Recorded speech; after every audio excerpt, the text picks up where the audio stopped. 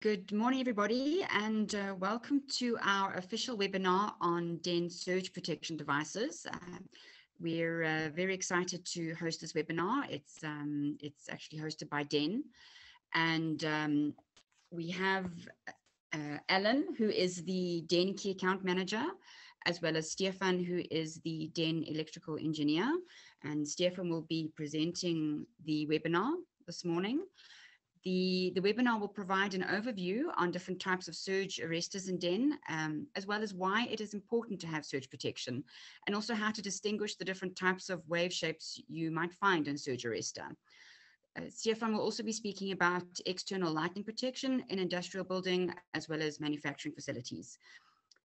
So uh, before I, I, hand over to Stefan, I just wanted to run you through a, a brief overview in terms of the controls. So you will see at the, your screen, there are a few toggles. There's a chat and a Q&A, as well as a raise your function. If you'd like to talk, please raise your hand. We will then open the floor so you're, you're able to physically talk. Please make use of the Q&A and the chat functions if you do have any questions throughout the course of the webinar. The just to hold all the questions until the end of the webinar, but if you do have any questions throughout the course of the webinar, please make use of the Q&A or the chat function. Do you have your catalog on hand? Um, if, if you want to refer to any part numbers or you want to chat to Alan and Stefan about any of the, um, the, the particular products that you may have a question on, and uh, there will also be a poll at the end of the webinar. Please assist us by completing the poll. It will take two minutes of your time. And the idea behind this is just to help us improve our um, your experience on uh, the, the webinar. So that's, uh, that's it from me. And without further ado, I'd like to present Stefan. Thank you. Hi, Karen. Uh, thanks for the introduction. Hi, everyone. Um, thanks for joining us um, on this webinar today on surge protection devices. Um, as Karen mentioned, we're going to discuss uh, the basics of surge protection devices and the different technologies then uh, incorporates with, with the surge protection devices. Um, yes, so without any further ado, uh, let's get started. So DEHN is a German-based, a family-owned company uh, active in more than 70 countries uh, in, the, in the world. Uh, we, are, um, we have more than 23 subsidiaries um, across the world. Um, also, we uh, are not only uh, manufacturers of surge protection devices, but we also have and manufacture lightning, external lightning protection. That includes your air termination rods, your finials, and your earthing systems. So basically, DEHN is not only a manufacturing company, we also have an engineering department where we do um, designs and risk assessments. We provide solutions for, for a lot of different industries. Um, as you can see from the image, we have, we have uh, different solutions for your wind energy sectors, your energy generation, which is more your PV systems, uh, protection for your cell sites, we have protection for communication systems, energy, energy distribution facilities, as well as your railway systems. So the requirements of an SPD. Uh, SPD, as per standard IEC 62305, a arrestor needs to fulfill certain requirements. A surge, a protection device should um, be able to repeatedly discharge lightning currents without any destruction. SPD also should have a voltage protection level lower than the electric strength of your downstream electrical devices. And it should also be able to extinguish or limit the mains follow current from the supply system as not to damage your uh, electrical systems downstream. A SPD is also, um, it's very important that SPD should uh, coordinate with any downstream uh, surge protection devices that you, that you need to install. So the causes of transient overvoltages. This can be caused by a direct lightning strike to, for in, uh, to a building. With this, uh, a lightning waveform is associated by 10 stroke 350. What this means is that it takes 10 microseconds for the lightning current to reach peak value and 350 milliseconds to reduce to half of its peak value. Transients in your system can also be caused by an indirect lightning strike next to your building. Due to the high frequency behavior of a lightning strike, there's a changing magnetic field. If you have a changing magnetic field, you induce current and voltages onto nearby power or telecommunication lines. This is described by the inductive and capacitive coupling that a lightning strike has.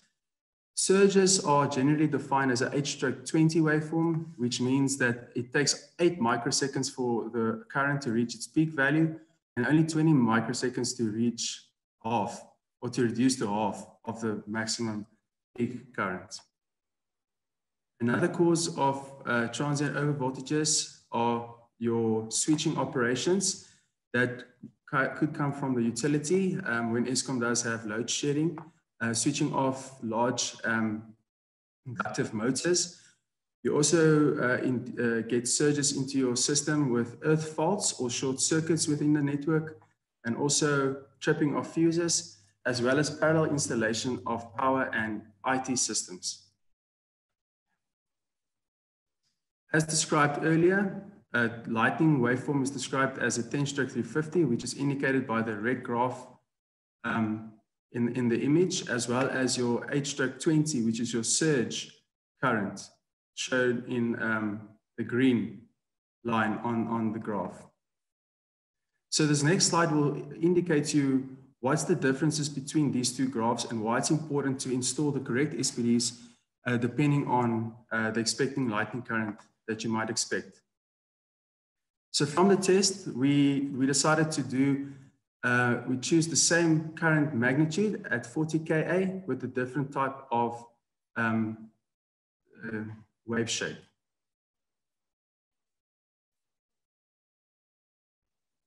So from this video, you can see that the first test was conducted by injecting a 40 Ka peak lightning impulse system.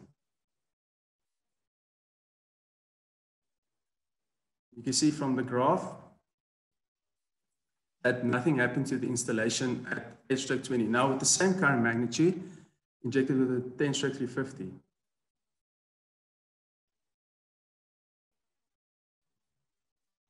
So from this, you can see that, that depending on the wave shape of your um, current, the amount of energy transferred to your, to your electrical system with only a surge protection device an external lighting detection device is the amount of energy. This images shows some damages caused by lightning currents. As you can see that uh, a circuit board has been fried completely. Um, on the left-hand side and on the right-hand side, a cable was struck directly with a lightning strike and it actually damaged the whole cable, which needs now to be replaced. We've also seen damages in switchgear cabinets, uh, cabinets that did not have any surge protection devices. You can see that um, the lightning strike actually came into your electrical system and caused arcing, which caused the circuit or the switchgear cabinet to catch fire. Especially in our PV systems, uh, there's, there's a lot of damages associated with that um, on due to your inverter. The inverter consists of very sensitive electronic devices which is subjected to a lot of transients um, over the course of operation. And if any, of these transients are too high, it can cause damages. That's why it's important to also um, protect your inverters with surge protection devices. So the risks of a, of a lightning strike. All the systems are interconnected. You have your power facility, which then supplies power to your hospitals, your residential areas, or your urban areas. It supplies power to cell sites. It supplies power to, or it, it, it's connected to your renewable energy sectors, as well as your, your industrial facilities. So a lightning strike doesn't have to happen at your premises to cause damages. It can happen at any part of the electrical installation. And due to the connected nature of, of the electrical systems, the lightning current can come back onto the power lines into your buildings, and that's defined up to two kilometers away. That lightning can have an effect on your on your system. Examples, examples of this is that you have a direct lightning strike. As you can see, uh, from the residential area, you have your earthing system that's been fed by underground power cable, which then goes to a transformer, and then you have your overhead connecting lines connecting all the different parts of the networks together. So now, one cause of, of lighting damage would be a direct strike to your building. The lighting current will flow to ground, uh, creating a, a, voltage drop across the earthing system. Um, and also that same effect induces a current or voltage between your telecommunication and power lines. These voltages are usually in a, in range of above 1,000 volts, which is too high for your equipment to, to withstand. Another example of lighting damage is for your remote lightning strikes. First of all, if you get a direct lightning strike on an over uh, voltage line, uh, overhead volt, uh, high voltage line, that lightning current is now on your power cables going into the transformer and is conducted via the power cable into your um, residential area. Another cause of damages can be uh, surges uh, by cloud-to-cloud -cloud lightning strikes. Um, that, uh, magnetic uh, uh, that magnetic field associated with a lightning strike can cause transients on your overhead line systems, which is then connected via the electrical lines into your building which can cause overvoltages within your electrical installations. Another reason for damage is a lightning strike directly next to your residential area. Again, with the changing of magnetic field, you induces current and voltages onto your electrical system, which can cause damages. The standard IEC 62305 part 4 defines lightning protection levels. These levels are ranging from a level one, which is your highest lightning protection level, to your level four, which is your lowest lightning protection level. These levels are determined by a risk assessment based on the building you're protecting. So the state defines a, a lighting level one as a peak magnitude of 200 kA current that you can expect um, on your electrical system, where your level four is 100 kA of lightning current you can expect. To give you an example of this, let's the external light detection system installed on your building with transformer, which is supply, and you also have a system installed on the roof. You have your 230 volt single phase uh, voltage coming into your building, as well as your one ohm earthing resistance. So let's say you get 100 kA lightning strike to, to your lightning protection system. 100 kA will flow down conductors to earth. Using Ohm's law, you can actually determine the voltage rise based on the current that's flowing into your earthing system and also the resistance of the earth grid. So you can expect 100 kA to be present on your earth bar. This high this high amount of, of potential difference um, between the 100 kA that's now on your earth bar and that feeds into all your electrical equipment and your 230 volts electrical supply, um, this high difference in voltages can cause flashovers or sparking. And that's bad for electrical installation because what it does it, it, it, it, it um, damages your electrical systems and also it gets a chance to, to actually start or create a fire condition.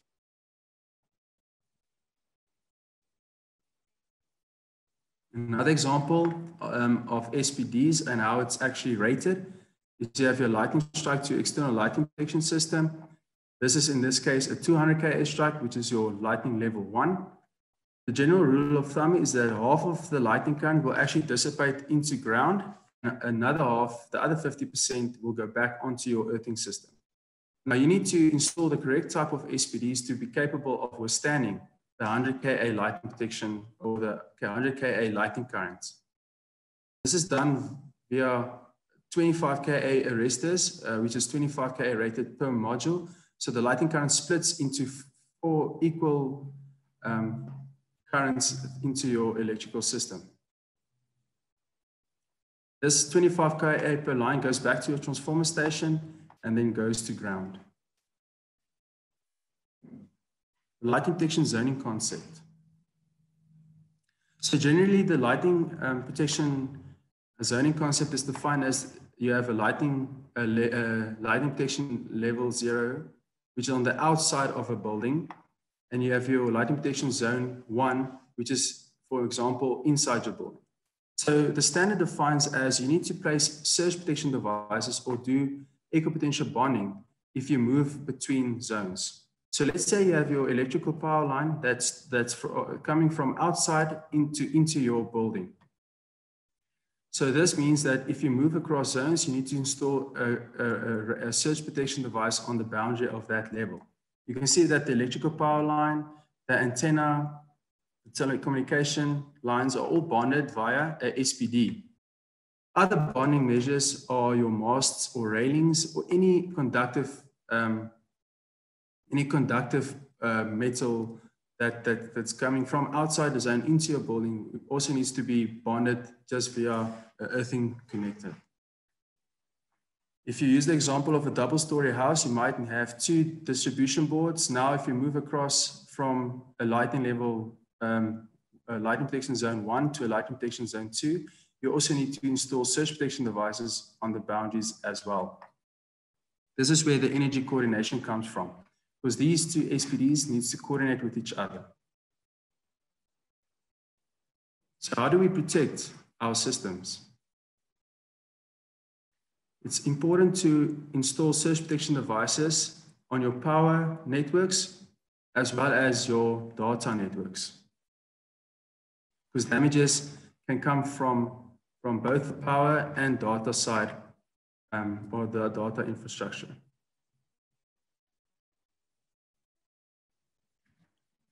So our redline products, typically, uh, if you have a three-phase system, in South Africa, we're using TNCS system, which means that your earth and your neutral is separated at your main distribution board. We have different SPDs that that's manufactured to, uh, the, the, um, is manufactured to, based on the type of earthing system that you do have. So you can see from a three-phase supply, you have your you have your type 1 surge protection device installed in the main distribution board with then your type 2 surge protection devices installed further down in your electrical system. You can also have more fine protection where you have your type 3 surge protection devices installed, for instance, uh, in your plugs, etc.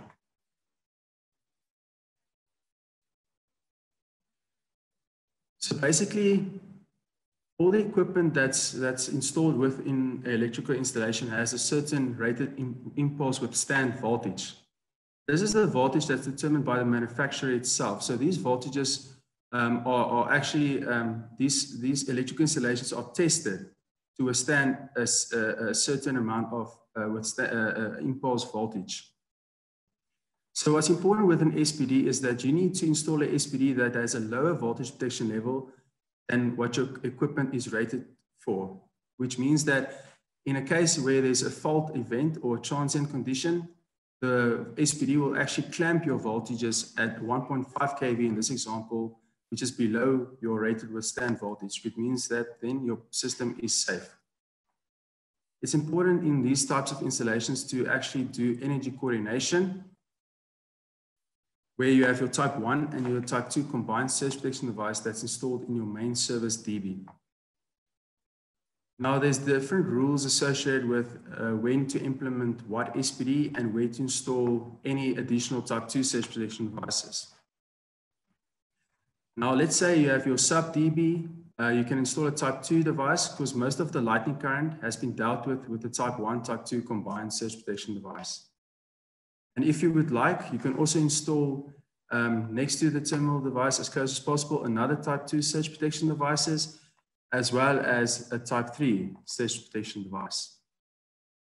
So these graphs actually indicate nicely what happens with cascading of different types of surge protection devices is that you can see that our type 1, type 2 combined surge protection device can handle a 10 stroke 350 lightning uh, impulse waveform so it means that that, that, that SPD installed um, in the main distribution board actually conducts most of the electrical or the electrical fault current from lightning into ground before it reaches um, your other type 2 surge protection devices.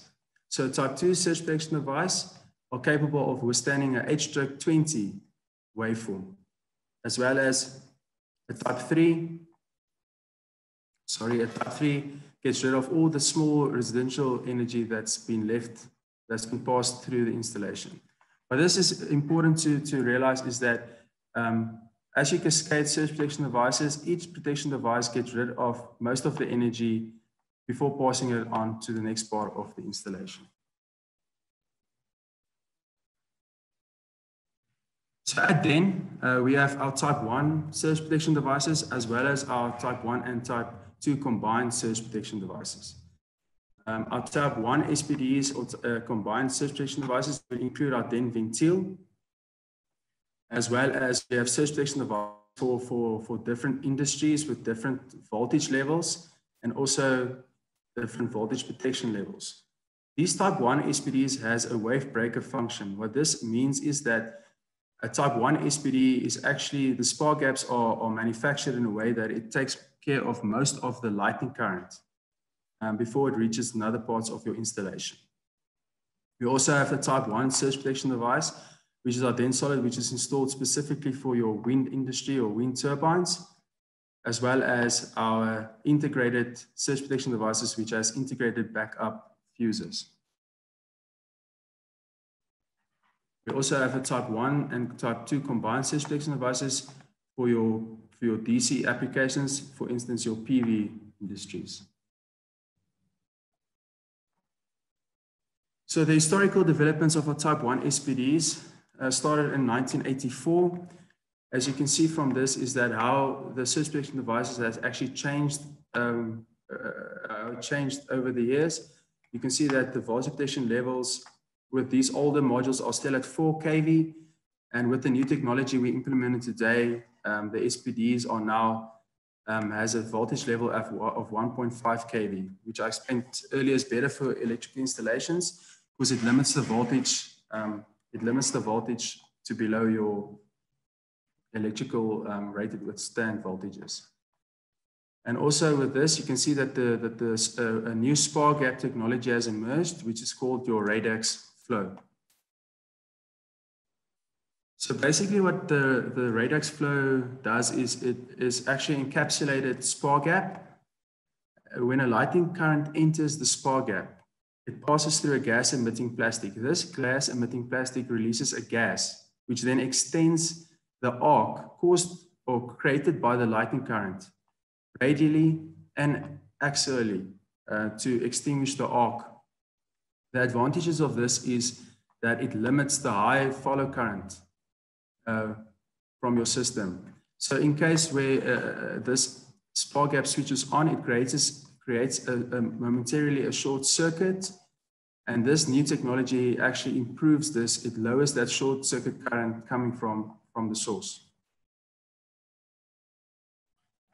Again, um, new technology that's coming out next year is that we have improved our spark gaps even further, which is now called the rapid arc control spark gap.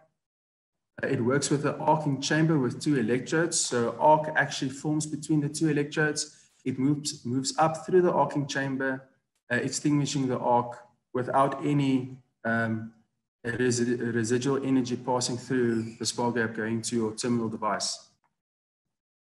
And also a mention to mention that causes, um, it has a low mains follow current, which means that any upstream fuses will be protected and will not um, chip in this case. So there's different types of technologies associated with surge protection devices. First of all, you get your varistor type surge protection devices, which is called your voltage limiting surge protection devices.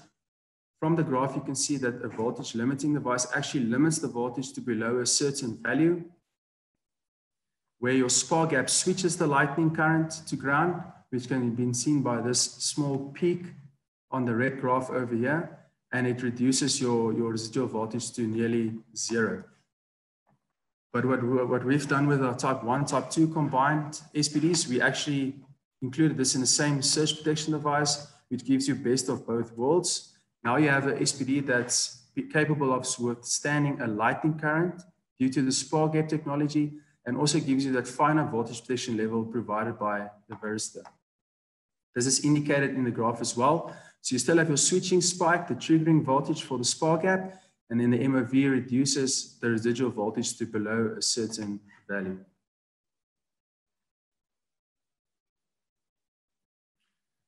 This is a, a, test we have done in one of our laboratories in, in Germany. There is a comparison between coordination of the different types of, of components in surge protection devices. So first of all, uh, there was only a type 1 SPD based um, on a, a Varistor and a spark gap. They injected the, the, the, the electrical circuit with a total of, of 1.25 kiloamps. And you can see that from this, the green graph, that's the total current that's flowing through your spark gap itself to ground. The red graph indicates the amount of current actually passing through to your terminal device. This is way too high for the electrical device to withstand.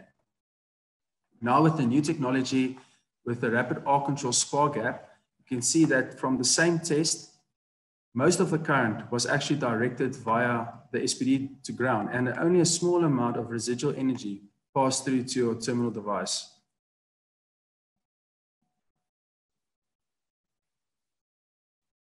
prefusing and fuse selection. All our SPDs has a, if you go onto our website, has a, has an installation manual and depending on our application and the rating of your upstream circuit breaker, um, surge arresters in, in some applications might need to be pre-fused. Pre-fusing is required to protect the SPD itself from completely uh, from, from complete failure, as well as protecting your or disconnecting your electrical system when there's a fault occurring within an SPD. Now, prefusing is usually required for installations, for industrial installations with large um, amp ratings. So you can see this is an example that's, that's been um, obtained from our website, the DEHNventil. On the right-hand side, there's, there's a graph or a table that indicates your, your F1, which is your upstream circuit breaker size, and F2 is the, uh, the, the selected fuse size that you would need to prefuse this arrestor with. So you can see from, depending on the upstream circuit breaker size, um, depending on the application, you need only need to prefuse your surge protection device when that rating becomes higher than 315 amps. You need to prefuse your surge protection device with a 315 GG fuse. As well as the, uh, depending on the rating of the upstream circuit breaker, you also need to, to install the correct um, cable size for, for the SPD as well.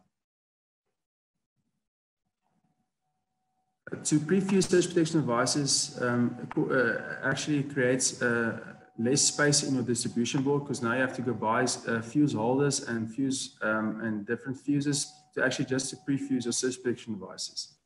But we have created a solution for this, uh, which is called our DEHNvenCI.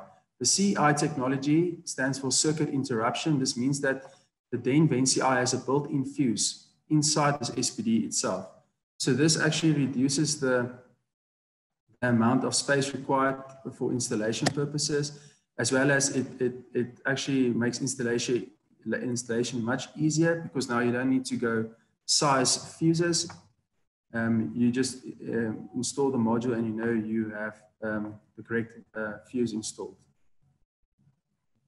It also reduces uh, cables now connecting your SPD, which is also very important um, with the functionality of, a, of an SPD. This is our DEHNvenCI, which has the integrated backup fuse um, within the module itself. Some of our modules do have the FM contacts, which is a, a, remote signaling contact, which you can wire um, any way we'd like, you can light a light or you can, you can put a buzzer to know that the SPD has actually um, failed. Why it's important um, for the installations of SPDs, the cable lengths are also very important. Um, the general rule of thumb is that you need to keep your, your cable lengths as, as low as or short as possible. Connecting cables does have an impedance on that line and the higher the impedance of that line becomes, the lower your voltage protection level um, or you actually derate your SPD. That's why they always tell you you need to install a SPD as close as possible to the terminal device. Because if there's a current flowing through this wire, there's a, there's a voltage drop across the cable, there's a residual voltage uh, drop across the surge protection device, and there's also then a voltage drop on your earthing conductor.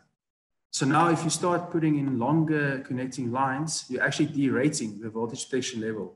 So the voltage level that the SPD switches on becomes much higher. In, in cases, it can be higher than your electrical installation.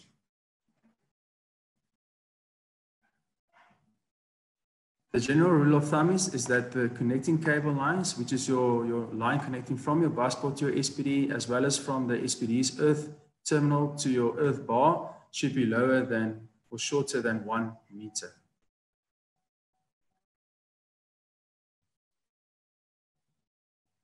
Then moving over to our type 2 surge protection devices. So our type 2 surge protection devices are also manufactured for different types of industries. So you can see that you have your, your residential areas, you have your single pole surge protection devices, as well as your DEHNcords, which can be installed in, in, in a plug uh, next to your uh, electrical equipment.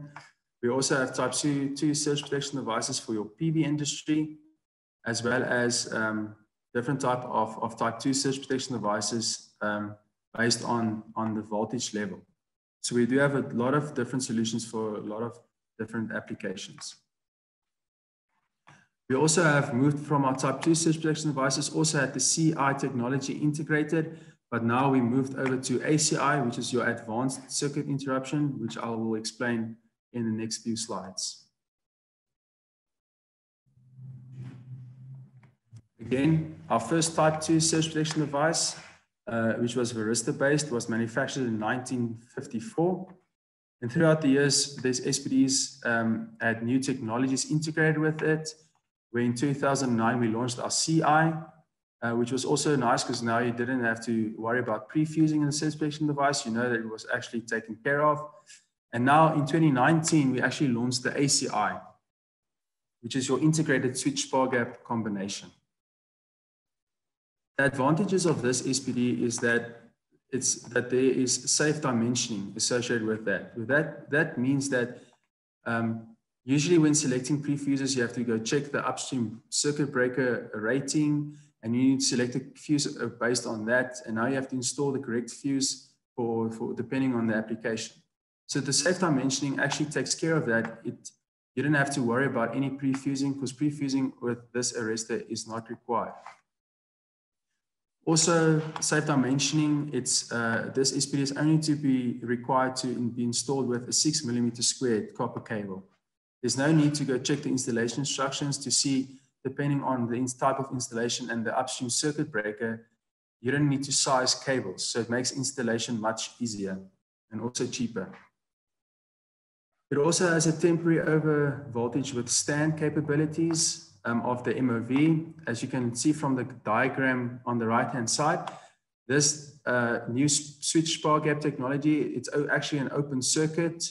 Only during fault conditions, it actually um, connects and then the SPD or the MOV is connected into your system. So when you have an over voltage, the, SPD, the MOV isn't actually connected to your system, which is then um, uh, extending the lifetime of, of the MOV as well. And also with the, with the new spark gap or switch spark gap technology, you have a small let through energy. Um, so when most of the, the, the energy of, of, of a fault condition will actually go to ground via the SPD, and not a lot of energy will actually go through or pass to your downstream electrical installations. Another feature for this SPD is that it has a zero leakage current. Usually with, with MOVs, it degrades over time and it starts leaking current, um, which can cause nuisance, nuisance tripping.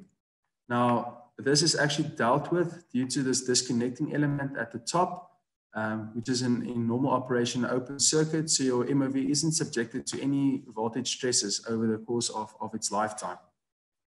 That's why um, there's zero leakage currents um, from this device. And another nice um, feature of this uh, SPD is that you don't need, if you do insta insulation testing, uh, with the installation. You don't need to remove the modules. Um, you, you, you, you can protect, you can actually do the testing without removing the modules, um, which is much, much easier. So we have a video that actually um, shows how the ACI technology actually works during a fault condition. So our ACI god is our type 2 surge protection device. And as I mentioned, um, the new the new spark gap or switch spark gap technology provides safe dimensioning, gives you a higher temporary over uh, voltage withstand capabilities, as well as there's a small lead through energy going through your uh, downstream electrical devices. So this is how the SPD is made up of. If there's a 8/20 coming into the SPD, an arc is generated. That arc moves through the as, as new fancy um, uh, arcing chambers and it extinguishes the arc um, and directs the, the, the, energy to ground. In case of a fault condition, uh, you have a short circuit, it actually can interrupt the short circuit and disconnect the SPD when it's overstressed. The safe dimensioning is, is also um, nice with this uh, implementation of the SPD is because it removes the, the requirement of any external backup fuses. So all the connecting links or wires can be kept as short as possible.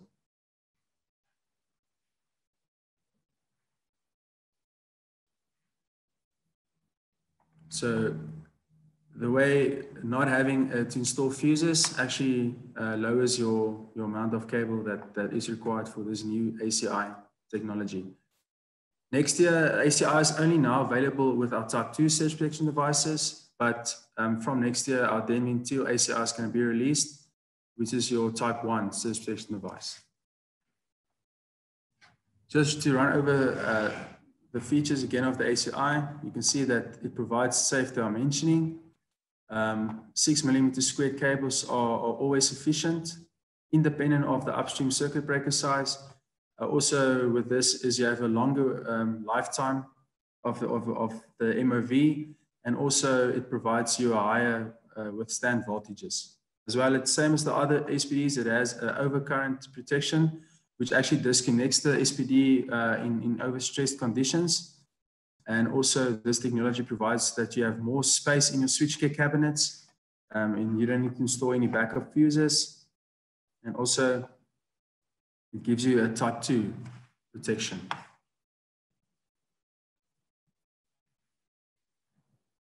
This is our three-phase module. We also have the ACI technology for our three phases. Um, and this, uh, depending on the earthing configuration um, that you have, uh, there's different uh, SPDs based on, or different part numbers based on the earthing configuration.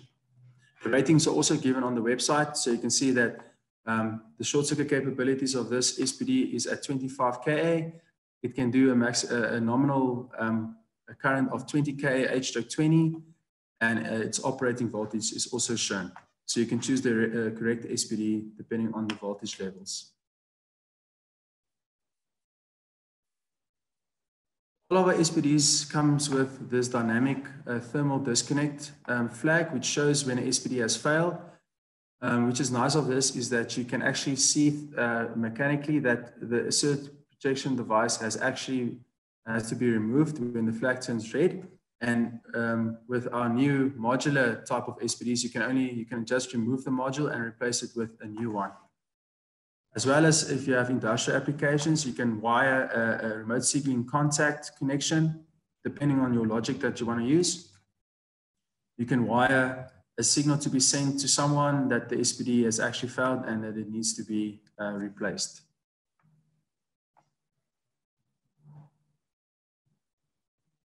So moving over to our yellow line products.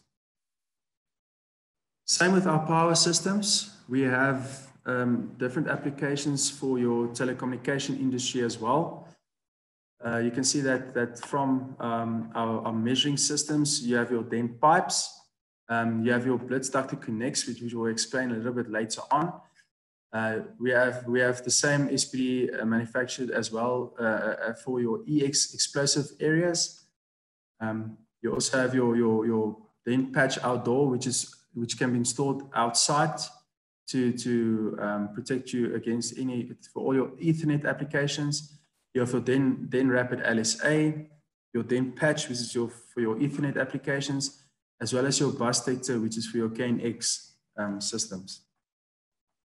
The same with your data networks, uh, your Ethernet applications, we have the DEHNpatch and a DEHNpatch outdoor.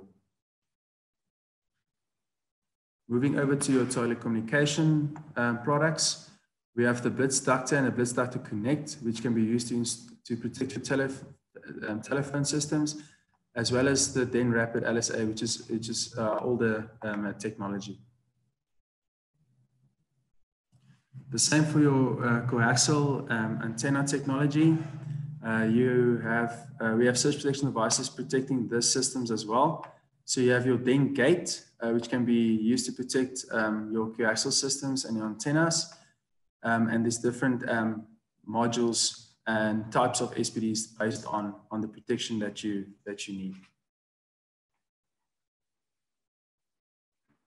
So one very important thing with, with um, the difference between communication SPDs and our power SPDs is that the SPDs for which is used in telecommunication systems are actually installed in series. Our power system installations are done in parallel. So installation for your telecommunication is very important.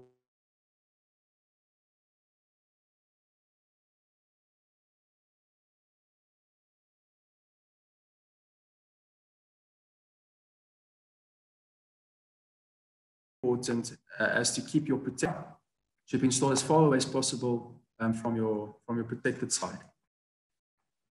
Uh, you shouldn't loop the conductors next to each other because if a fault current or fault events happens to come onto one of these lines, the, the inducing effect will actually create a fault condition or a transient overvoltage on the other side of the SPD. So you're in, a, in a, essence actually bypassing the whole protection of this SPD. To give you example of a typical installation, now you have your, your, your, your blitz ductors installed in a cabinet.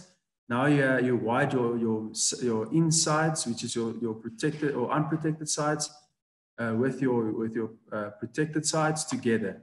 Now with this, you cause into induction loops. So the, the fault current actually um, goes onto your, your clean ends to your terminal device. The correct way of installing this is actually to, to install all the cables or all the clean sites next to each other.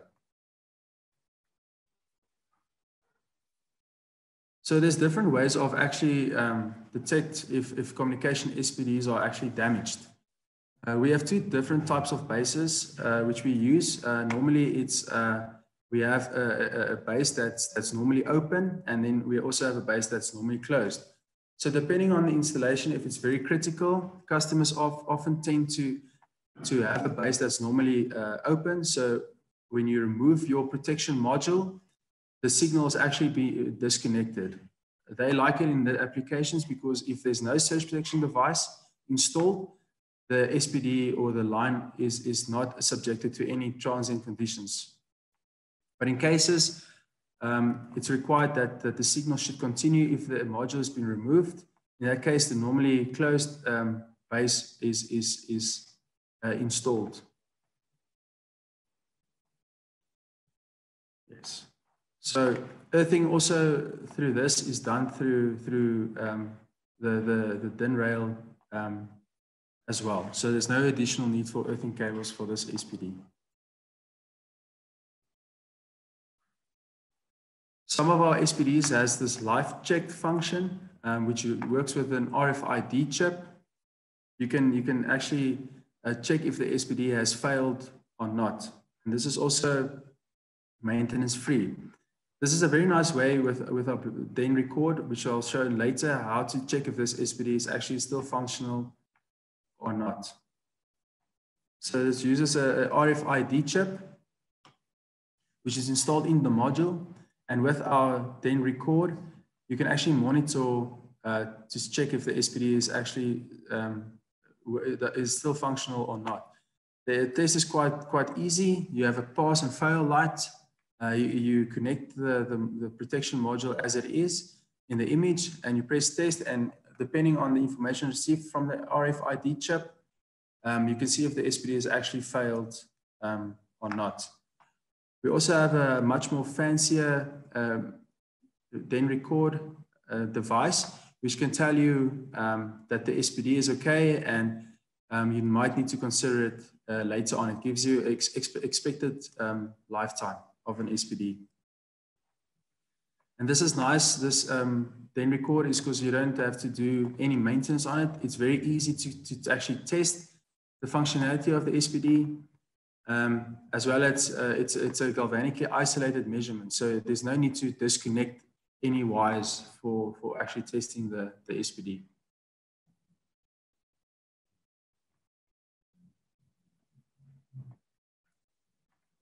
So our blitz ductor product history actually started in 1979 with the first blitz ductor, um, and throughout the years it actually evolved and became uh, much smaller.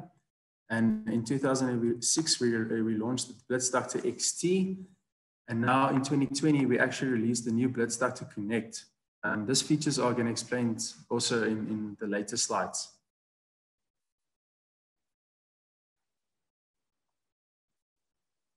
Okay, so first of all, um, uh, from the image, you can see that the blitz ductor connect is much smaller. It's about half the size of the, uh, of the normal ductor, uh, which, which uh, actually increases the space um, in your distribution board or your cabinet.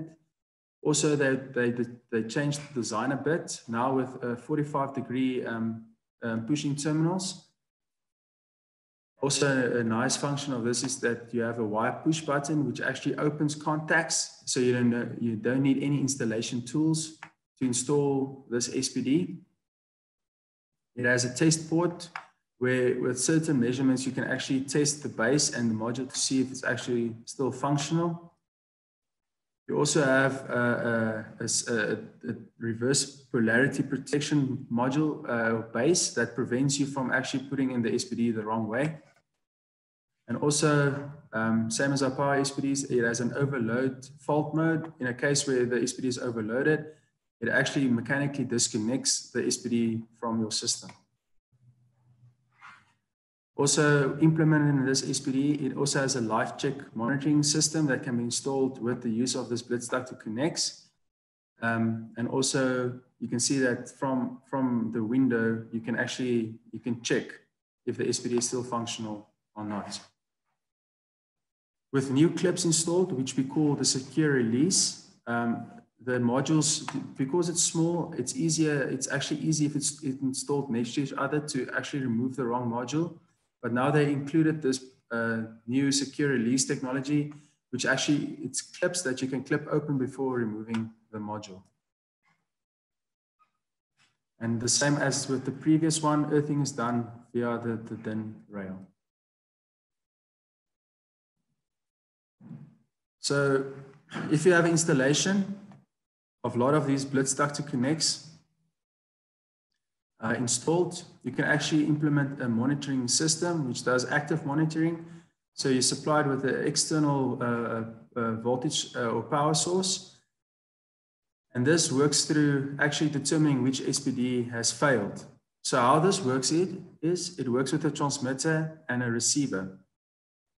So two bases or, signaling contacts are placed on either ends and it uses an infrared light to measure the, the system. Now, if a flag has, uh, SPD has thermally overloaded, it actually closes the flag and it closes this, the, the part where the signal passes. So now no signal can actually go through to your SPD. This shows or indicates that the SPD has failed and you need to replace. That's very nice for this because if you have large industrial applications, it's not always feasible to go through your installation um, every day to check if SPD has failed. You can use this new signaling remote contacts um, to actually monitor your systems and to see which SPDs needs to be replaced. Yes, so thanks. Um, this uh, concludes the presentation um, of our SPDs and our, as well as for power and yellow line. Um, and thanks for, for, for your attention.